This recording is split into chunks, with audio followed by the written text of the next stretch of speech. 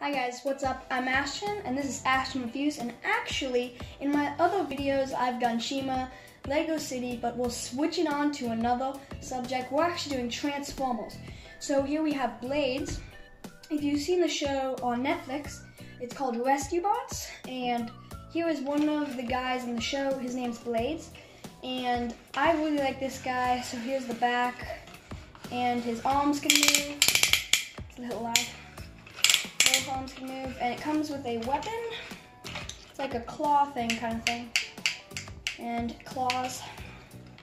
And when you get it with the package, this thing on the back, this spin thing, actually it comes off and you put it on. So it's actually really hard to get off, which, uh, yeah, I can't get that off. But I really like him, Blades, he's really cool. And so let's transform. So you take the claw off, you put his arms like that, and then you want to take the fun part and put it forward. And once you put it forward, it looks like a helicopter. And I really like that. Um, I really like the look of this helicopter.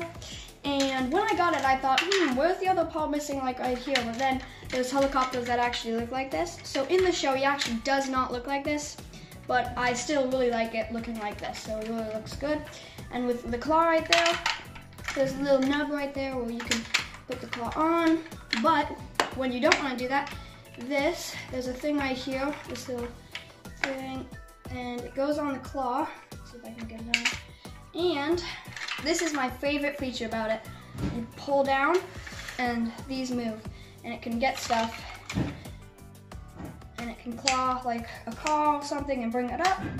And when you want to um, when you want to bring it back in, you just turn it and it goes back in just like so.